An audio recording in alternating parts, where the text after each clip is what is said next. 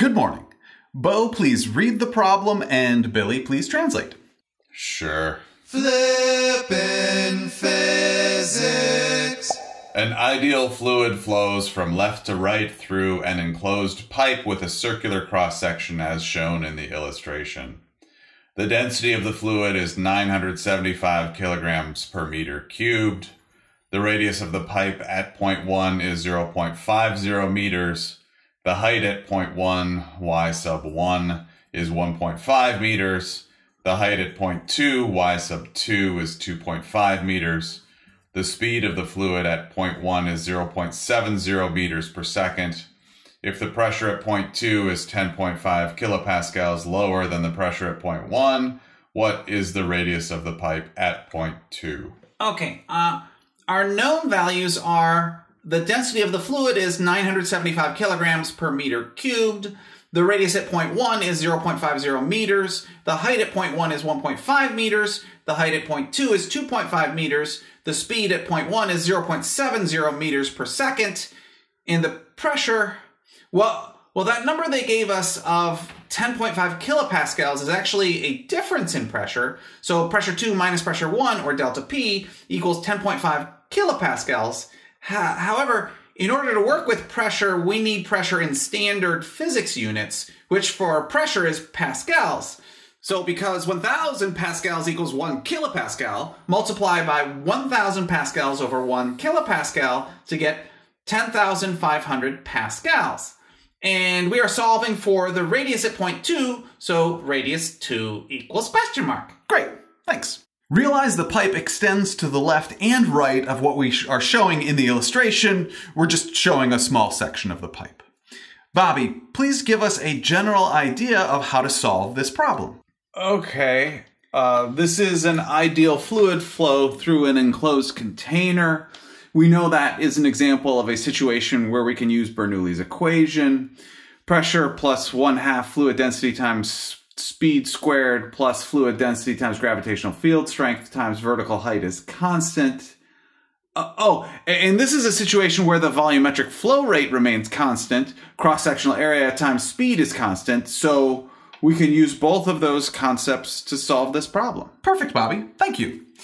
Let's clearly identify our two points in this problem as point 1 and point 2 in the illustration, and the horizontal zero line as the lowest horizontal dotted line in the illustration. I understand you may feel that was all clear from the problem statement, however, it is still important to specifically state. Now, Bobby clearly identified the basic outline of how to solve this problem, so I will walk through the solution. Let's start with Bernoulli's equation. The, pre the pressure at point 1 plus 1 half times the fluid density times the speed of the fluid at point 1 squared plus the fluid density times the gravitational field strength times the height at point 1 equals. All of that again, just changing the subscripts from 1 to 2. Let's start by switching the left hand and right hand sides of the equation. Now all the 2's are on the left hand side of the equation and all of the 1's are on the right hand side of the equation. And now let's solve for the change in pressure and then factor out like terms to get change in pressure equals 1 half fluid density times the quantity speed at point 1 squared minus speed at point 2 squared. That quantity plus fluid density times gravitational field strength times the quantity vertical height at point 1 minus vertical height at point 2.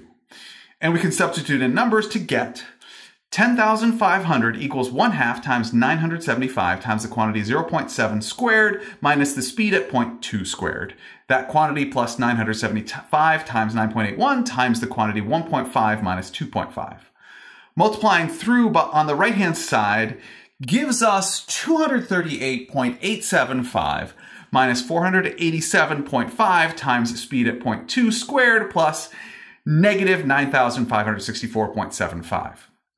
Bringing all the terms which do not include speed at point 2 in them to the left-hand side of the equation gives us 19,825.875 equals negative 487.5 times speed at point 2 squared, dividing both sides by negative 487.5 and taking the square root of the equation gives us speed at point 2 equals the square root of negative 40.6685. And that equals Error? Yeah, error. Why does it equal error? Because you cannot take the square root of a negative number. Oh. Do we just take the negative out of the equation and take the square root of 40.6685? No. No. Anytime we are trying to take the square root of a negative number, it means we made a mistake. A lot of times it has to do with one of the known values having the incorrect sign. Yeah. The change in pressure. It, it says the pressure at point 2 is 10.5 kilopascals lower the, than the pressure at point 1. That means pressure at point 2 minus pressure at point 1 is a negative number. Yeah, the change in pressure equals negative 10.5 kilopascals. Yeah. Sorry, that was my fault. Eh, no worries. We all make mistakes. A- And neither of us caught it. Okay, thanks. I agree.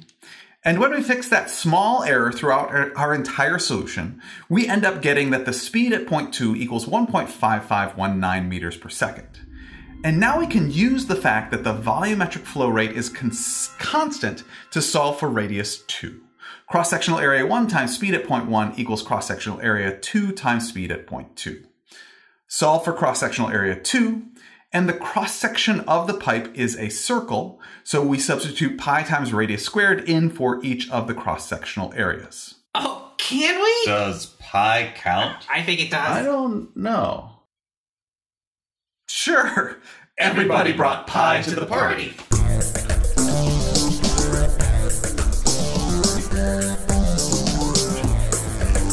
Everybody brought mass.